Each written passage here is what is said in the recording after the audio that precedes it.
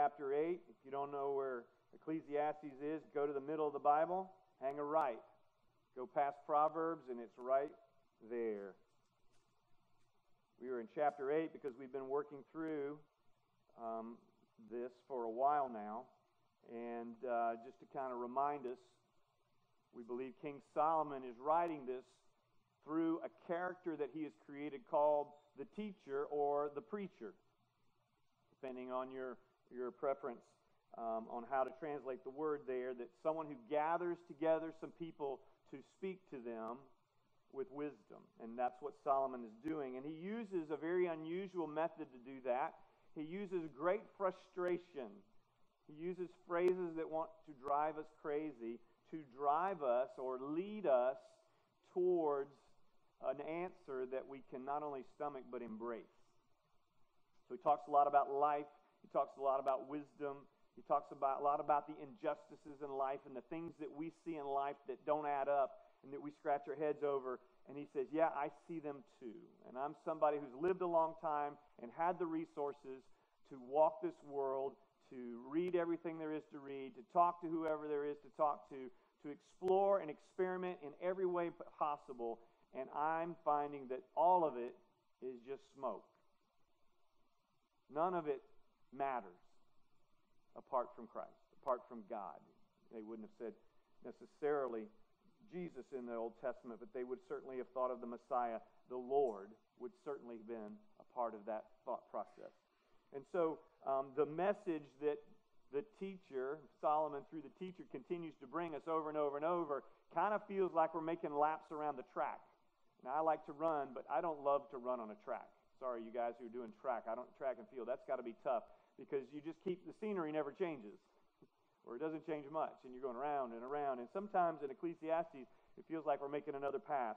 But as he walks us through he is progressing us and leading us towards a, a finale that's going to put a bow on this and it's going to provide some relief. And every week really there's been a little bit of relief as he reminds us there is an answer that's better than everything is meaningless everything is smoke. There is an answer, and he's going to say that again today. Now, today we're going to talk about um, four ways that uh, four ways where we find healthy perspective. Okay, so uh, the teacher's further observations of life and wisdom are going to play out. He's going they're going to lead us to a healthier perspective and wise living. Those are the two things it's going to lead us to. And the, the teacher is going to use four, um, I guess you could call them words of counsel he's going to give us. And these four phrases, or, or, I guess four phrases, are going to give us um, some traction in the, in the areas of wise living and healthy perspective. So um, my, one, of, one of the things I've been doing since we switched to the afternoon schedule, 4 o'clock, is in the Sunday mornings, I've been using it to kind of wrap up or final fresh thoughts to whatever it is I feel like God wants me to say on Sunday night, Sunday afternoon. And uh, so I my my habit is to to go start the day over at Panera Bread and just go back through it and jot down some final notes and thoughts without any other books in front of me, just just my journal, just uh, the Bible, and just you know just some some time and space. And I sit in the same little round table in the same corner if it's available every time I go. And right next to this little round table, if you've ever been to the Panera Bread in Summerville, you know there's one big table in the restaurant. It seats about, I don't know, 10 people. And every week, about 8.30, maybe a little before, people start rolling in. And the table fills, and from about 8.30 to 9.30, the table is full. Sometimes they have to add another one of folks that have been to church or going to church or going to Mass I don't know. They're from all over. I know there's some Catholics in the bunch. You can just tell. And uh, they seem to have a great time. They don't. I don't think many of them are related, but they act like family. They they they're always teasing one another. They have no problem picking at each other. They they um, they don't speak with a real big filter, and they just say what's on their mind. And there's a lot of laughter, and it's just a really beautiful picture. And so I enjoy just kind of being in the room with them. Sometimes they get a little carried away and I have to pop in my earbuds. And sometimes they, they speak about things that are pretty interesting, and I try not to eavesdrop, but one day I happened to catch pretty quickly somebody asked the question They said, So we were there last night. Do we, does, does that count for church for today? And, and somebody else, apparently very knowledgeable, or the person to ask, said, Oh, yeah, of course that counts as church. Three hours at church on a Saturday night, of course you can count that for your Sunday service. And I'm thinking, Did I just hear that right? Is that? And then as soon as that thought came and went, I realized, wow, that's exactly how I used to think. That's exactly how I used to. How can I find a loophole in getting the check mark in the box for Sunday morning church, but not having to go? This was before my preaching days, of course. Um, although there are some Sundays when my wife tells me I still have to go to church. But, but you know, it, there's those times when you just want to, you know, I just want to rest today, like really rest, like not have to get dressed up, like not have to go somewhere. And this was back in the days when I actually dressed up for church. But, um, you know, so it was just not quite as comfortable as, you know, and it's the kind of the machine of what church can become sometimes. And so I kind of got what he was saying. And yet I knew that that in my heart, that's not where I wanted to be, and that's not where I am today. And, and I think the difference for me, at least in my journey, was I went from seeing church as a religious duty to seeing it as an opportunity to gather with other people who love Jesus and to go and worship him with them. And to enjoy that time because I understand better than I did before that it's not about religion, it's about that relationship. And, and that's what he's trying to help us see here. He's trying to give us a healthy perspective. And he's talking about life and he's talking about wisdom in life, walking wisely. So in this chapter, we're going to walk through these four points. And the four points, if you're taking notes, are going to be this. And I'm going to say them quickly and then I'll repeat them as we go through them. The first one is he's going to tell us he wants us to embrace wisdom. The second thing he's going to tell us is he wants us to obey and serve authority. So embrace wisdom, obey and serve authority. The third thing is he's going to say he wants us to recognize God's justice. Recognize God's justice. And the fourth thing is he's going to tell us be content and enjoy life. Okay? So let's with that let's jump in. So the first one is embrace uh, embrace God's wisdom or embrace wisdom. And it comes from verse 1 at the beginning of the chapter and 16 and 17 at the end of the chapter. So we kind of got a bookends, I guess you could say, um, for this chapter. And, and so let's look at that real, real, real quick here. So the first verse says this. And it starts with a couple of questions. Who is like the wise? Now remember who's asking this question. This is the one who asked, who could ask God for anything, and he asked for wisdom so that he could better rule and he's asking this question, has been over and over Who is like the wise? Who knows the explanation of things? Now, before I read the rest, the answer to that question is in verse 16 and 17. So let's move to those verses and let me read those to you. Starting in 16. When I applied my mind to know wisdom and to observe the labor that is done on earth, people getting no sleep day or night, when I saw all that God had done, here come the answers. No one can comprehend what goes on under the sun. Despite all their efforts to search it out, no one can discover its meaning. Even if the wise claim they know, they cannot really comprehend it. Which should remind us of last week, if you were here, wisdom has limits. The wisdom that you and I can contain in our little brains is going to be limited at the end of the day. Even Solomon says his wisdom was limited. Okay? Now, that shouldn't frustrate us, it should comfort us because God gives us what we need, but sometimes it's frustrating because we think we have all we need. And we talked about the two extremes. We have the, on the one hand, we have the escapism person who's putting their head in the sand and acting like a fool and could care less about wisdom. And then we have the theological snob who thinks they've got it all figured out theologically. And if you disagree with them, you're either too liberal or too conservative or you're just wrong. You're just less right than I am. Thank you very much. And you need to go and, and read somebody else. So we want to avoid those extremes. True wisdom comes when we recognize that we are not going to have it all figured out, and that's okay. That was one of the things I came out of seminary with that I actually remember, and that is, wow, the more I learn, the less, the more I realize I don't know, and I had to either become okay with that or just pull my hair out and I still have my hair, so you can see that I, I'm very okay not knowing it all. Now let's finish verse 1, which says, A person's wisdom brightens their face and changes its hard appearance. Which kind of makes you scratch your head sometimes with some of the people we work with and live with or hang out with because they don't ever smile. And you're like, so there's no wisdom there, maybe. Now, when I think of wisdom like this, I think of a wisdom that understands something about who God is and what He's done for us. Because when we understand that, there becomes this inner joy that comes out, and my smile is not a plastic, forced expression, but it's a, just an overflow of what's inside of me. And, and that's, that's not from a happiness based on circumstances. That's a joy that doesn't matter what circumstances under which I can. It's how Paul could write the letter Philippians with the theme joy while he's in prison for something he didn't do that wasn't anything wrong with what he did. It's just amazing how joy transcends our circumstances. So uh, I just so that's the, the wisdom piece, and uh, I had a I wanted so I wanted to give you just two two um, so there's two things here really I want you to see. There's of course there's the um, there's the value of wisdom, right? We read in Proverbs little nuggets of wisdom, and we're going to see some more in this this right here. So there's value in wisdom just in making good decisions with the information that I have. Okay? Then there's also, even though there's limits to that wisdom, there's the source of wisdom, and that is God. Okay? Now, I don't know about you, but I don't feel like a very wise person. I struggle believing that I'm wise at all. But I am encouraged by James 1, 5, and 6. Because um, what, we, what, she, what Susan read earlier just reminds us that if anyone lacks wisdom, Okay? If you don't, if you feel like you need some, here's your counsel. Here's your prescription. Okay? I'll write it down in something you can't read, so you won't, you know, I'll be like a doctor for you here.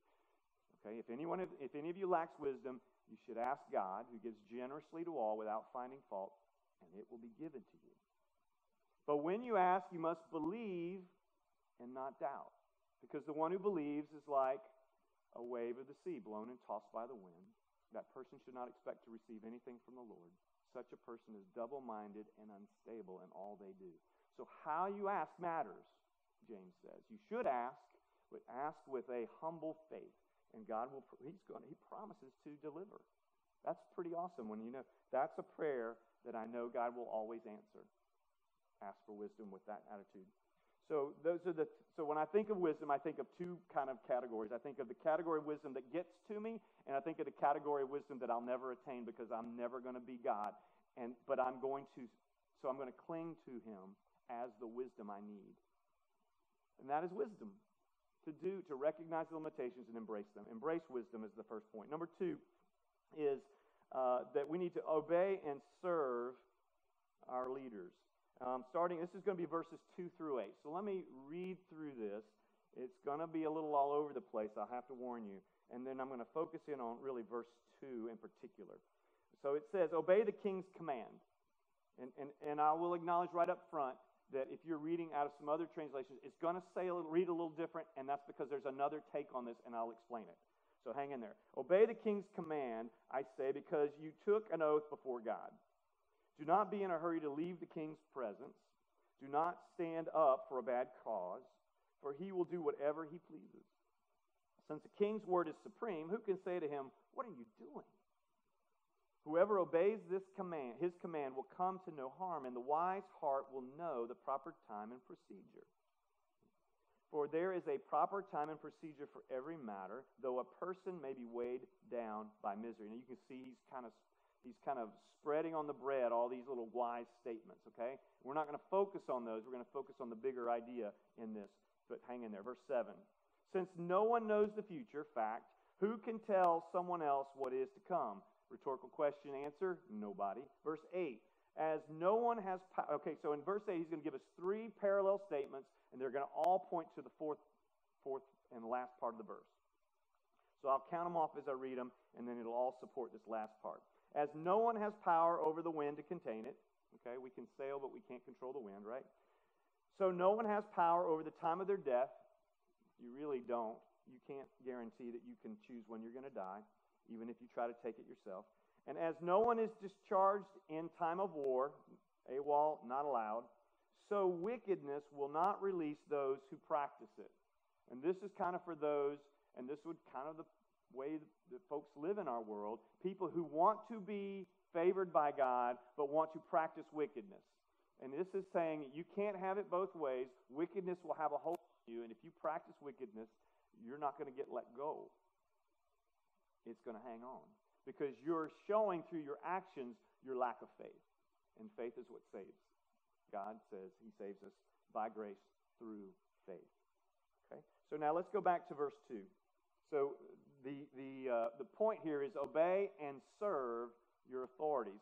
Um, Romans 13, um, which um, Betsy read for us, Romans 13, 1 and 2 says, um, I just want to reread it real quickly here. Let everyone be subject to the governing authorities, for there is no authority except that which God has established. So it doesn't matter whether you like the, uh, the person who's in the White House, God put them there. Okay? And we're supposed to gladly submit to those authorities. Doesn't mean we have to like them. Doesn't mean we have to agree with them, but we are to submit. And if you get to the place where, this is kind of a side note, but if you get to the place where I cannot, in good conscience, submit to that authority, then civil disobedience may be appropriate. And as long as you're willing to pay the consequences for doing that, then so be it. And there are, there's a time and a place to do that. Just ask Martin Luther King Jr. when you see him on the other side, and you can you'll get some of that. Okay, but there's no guarantee that you're going to live or not pay the price as he did. Others have done it and have been rescued by God. Shadrach, Meshach, and Abednego in the fiery furnace. They, they were practiced civil disobedience. They defied the order of the king, and God delivered them right in front of the king. Daniel defied the order of the king, was thrown into the lion's den. The lion said, "No, I'm waiting for the I'm waiting for the main course. We'll skip uh, Daniel here." And God delivers him from the lion's den and sends him a better meal. That's it, you don't know how it's going to play out. We just know that um, He wants us by our rule of thumb is He wants us to obey the governing authorities. That God has put them there for a purpose, and that God works in and through them. Okay, and a lot of times He does that through the people who serve them in the in in the I'll call it in the shadows, not necessarily in a negative sense, but they're the people that you don't see unless there's a scandal, and then they're the ones that get thrown under the bus. So let's, let's talk about the other way this is read, and I'm going to pull this up in ESV as a as a contrast. And uh, I want you to okay, so here it is. So the English Standard Version says it this way. I'm, I'm in verse 2. I say, keep the king's command, which would you could say is similar to obey the king's command, but different, okay, slightly, because here's the thing that's greatly different because of the because of God's oath to him, that is to the king. Now, NIV says, because you took an oath before God. So different people are taking oaths in this, okay? Now, whenever I find this to be the case, which isn't very often, um, when I find two very good translations disagreeing. It's usually over a nuance. And usually, when I conclude what's the difference, it ends up not mattering a whole lot, okay, because the application ends up being the same. But that's how I test it. So, what are the implications of this if I believe this is the right translation? What are the implications if this is the right translation? Oh, and by the way, they could both be wrong. But we'll give them the benefit of the doubt doing good stewardship. God's overseeing the translation of His Word, just as He oversaw the writing of His Word. Otherwise, we couldn't trust it, and we can. So, uh, the difference here to me is the difference between obeying governing authorities and serving governing authorities. Okay, so if I'm, I'm just called to obey governing authorities, Romans 13.1, that's very consistent with that. But the rest of the context to me seems to indicate the other. It's really more geared towards the person that's standing next to the king or the president or the prime minister or the governor or the mayor or whoever's in charge. This is the person who is really trying to help the person in charge do the right thing, say the right thing, make the right decisions. Okay?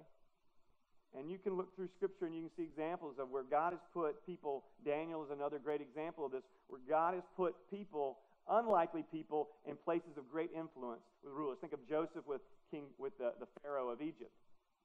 He was in prison and he became prime minister, most powerful man in the world, second to Pharaoh. And it was simply because God moved him from A to B, because God can do that.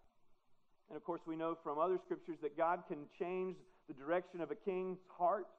Um, he can guide that decision making as well. The point here is this He says that there are people, and I hope God's people, who have influence over the people who are in charge. And as we think about obeying or serving those in authority, we need to ask ourselves the question Am I in a place where I can influence leaders? It may be because you, your office is next to theirs. It may be because you can write a memo. It may be because you can do something that will get their attention. I'm not saying that you need to consciously do this, but I am saying that you may have opportunities to do that very thing, and God wants to do it through you. So be ready.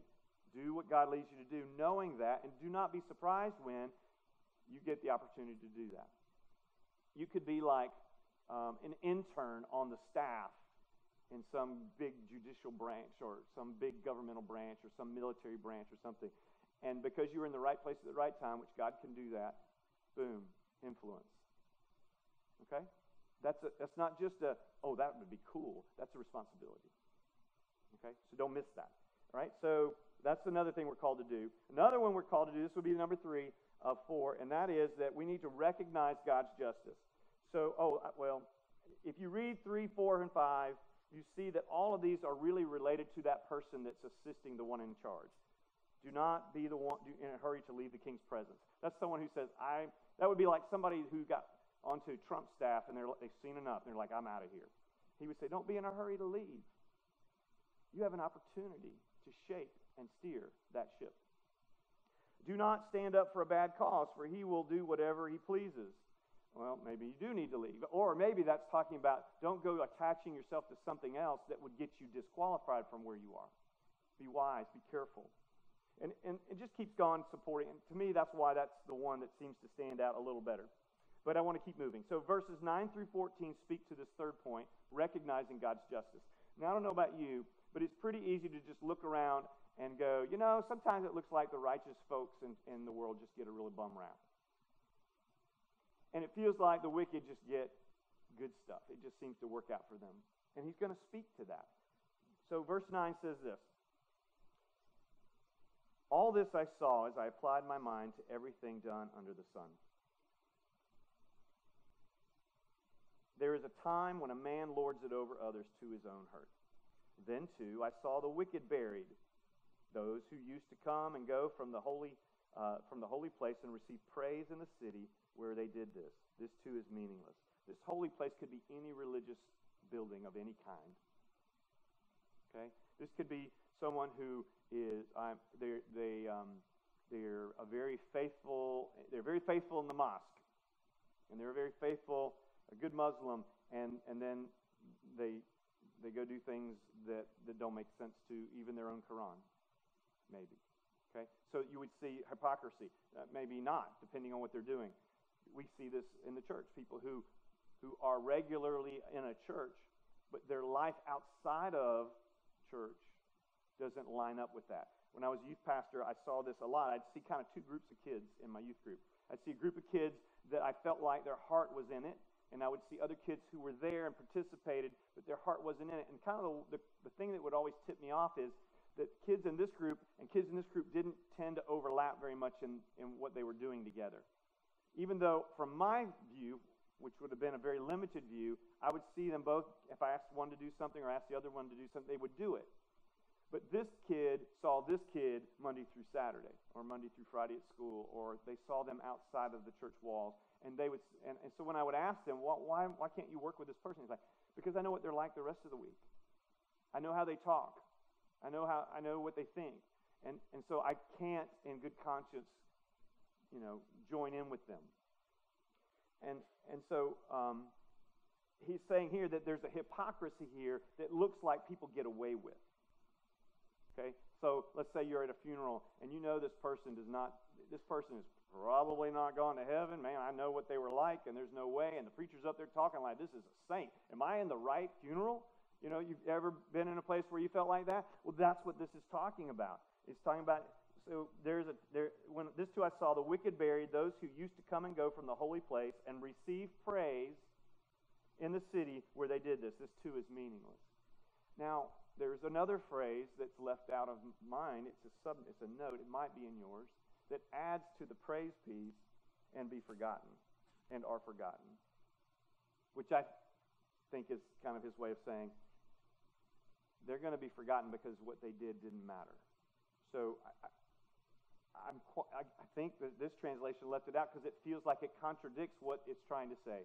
This is a hard, this was clearly a hard passage to translate, which is why it's hard to understand. Go figure. So let's keep going. So in verse 11, he, he starts to turn towards this judgment thing.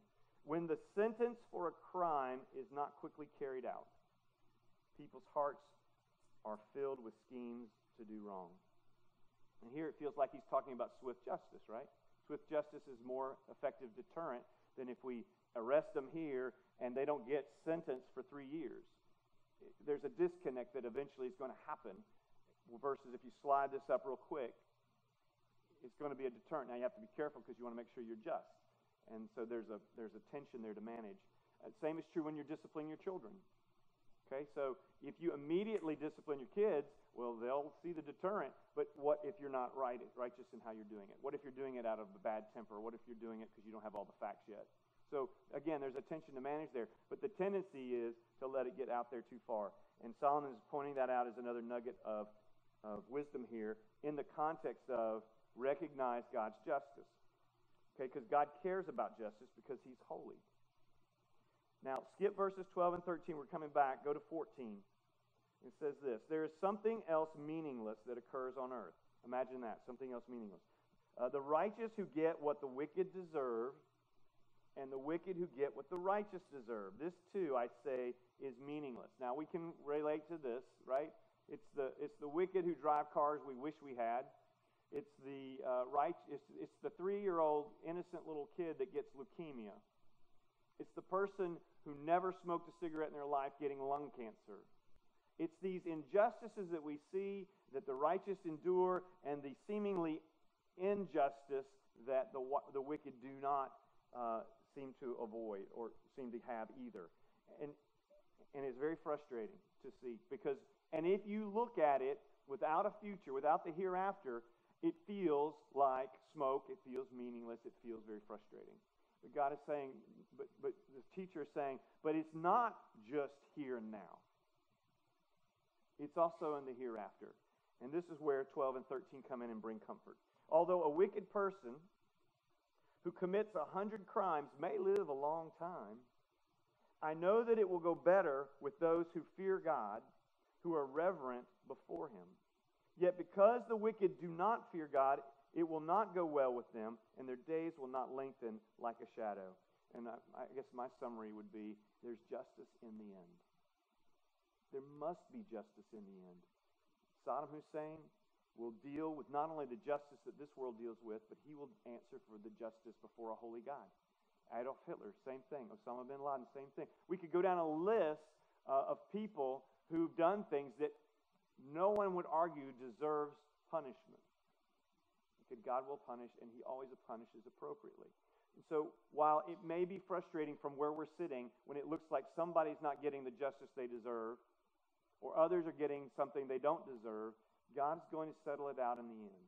And we can trust Him to do that and do that well because He's holy, and that's what holy does. So, so um, the last, the last uh, point here I would say is this, and he says this in verse 15. So I commend the enjoyment of life, because there is nothing better for a person under the sun than to eat and drink and be glad. Then joy will accompany them in their toil all the days of the life God has given them under the sun. So this sounds pretty good. Be content and enjoy all that God has given you. Philippians uh, was another verse that we share. Verse four, chapter 4, verse 11 and 12. Paul is writing to the Christians in Philippi when he says this or writes this. I am not saying this because I am in need, for I've learned to be content whatever the circumstances. I know what it is to be in need, and I know what it is to have plenty. I have learned the secret of being content in any and every situation, whether well fed or hungry, whether living in plenty or in want. I can do all this through him who gives me strength. Paul ought to know what it's like to have nothing. He knows what it's like to be shipwrecked and floating in the water for a long time. He knows what it's like to go without food for days on end. He knows what it's like to live in prisons where there's no such thing as prison reform. He has verse after verse after verse describing what he's been through. He wrote the letter of joy from prison. He understands contentment, and he highly recommends it. Okay, this is a thousand years before Paul even existed. And the teacher is saying, he is saying this. I'll say it again. So I commend the enjoyment of life because there is nothing better for a person under the sun than to eat and drink and be glad. Then joy will accompany them in their uh, toil and their work all the days of the life God has given them under the sun. In other places, God, he, he says, enjoy God, enjoy his gifts, and enjoy your work. So when I thought of work, I thought, okay, there's three things about work we can take away from what we've seen so far in Ecclesiastes. Just three statements. Work. Young people, did you catch that? Yeah. Work. Enjoy your work. And enjoy the fruit of your work. Okay? All three of those are important. Okay? Paul says if you don't work, you don't eat. Okay? I hope that one got through. Number two, enjoy your work. Now that it's not always something you can control. Okay? At the same time, how you respond to the circumstances in which you're working, uh, that is your choice, how you respond. You can't control your circumstances, but you can control how you respond to them. And three, enjoy the fruits of your work. You get if you get paid for your work, that's not a hobby. That's work. That's good. That's a job. That's what we, we need. That's how you support your family and, and yourself. Okay, so I would go for that. But but also enjoy the fruits of that. Recognize that it is by God's grace that you're able to, to receive that and have that. No extra charge for that sidebar. Okay, so that we're wrapping this up, right? We're, fin- we're landing the plane. Here we go. So um, the, the teacher's further observations of life and wisdom really lead us to these two things a healthier perspective and wise living. That's where it leads. So I challenge you to consider your perspective on life. Think about where you're coming from. Are you more like the person at Panera Bread who is like, well, I, you can check that box Sunday morning if you went Saturday night because, oh man, it's just your duty, duty, duty. Yep, you be a religious person, be a good religious person. Duty, check, got that. Don't need to. I, I'm, I'm, I'm good for six days. Or is it no? I get to know God. I get to know my Creator. I get to know the one who rescued me from sin and death, shame and guilt. Do I get that? And then it's drawing the wisdom from Scripture that He gives us here and living and applying these things to our lives. Okay?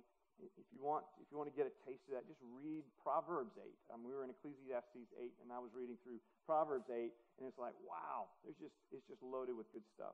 And in fact, in Proverbs 8, it even personifies um, Proverbs. It, in other words, it puts, makes Proverbs like a person, and it just points back to God. So at the end of the day, what matters is what we do with this. Okay? Am I going to act on this?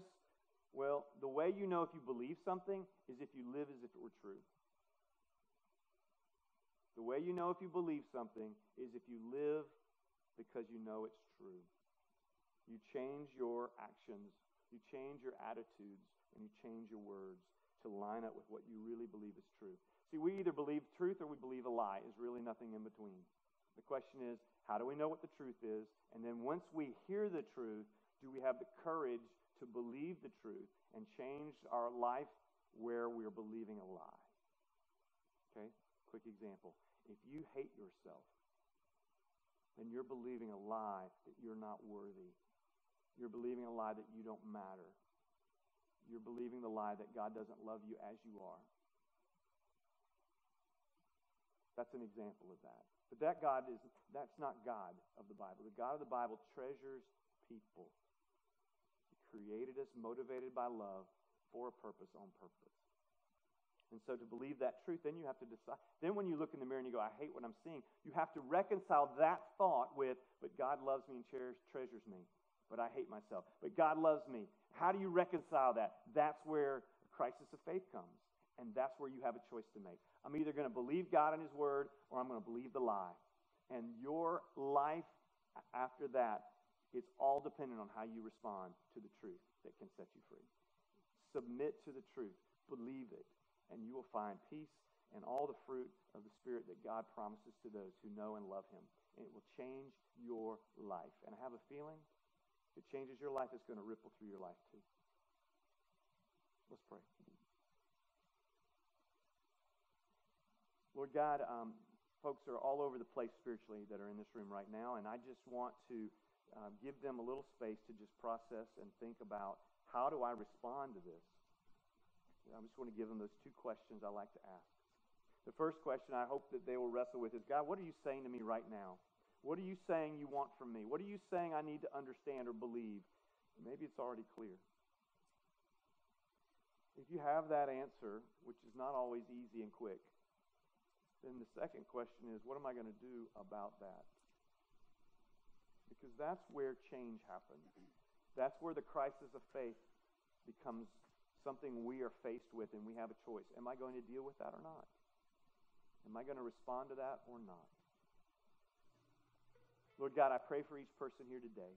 And as they prayerfully, quietly in the seat, right where they are, just quietly pray, I, I ask you, God, to give them the thoughts that you want them to have and to think what they need to think so that they can deal with what it is you've put in front of them to deal with today. Guide our prayers in these next few moments as we pray silently.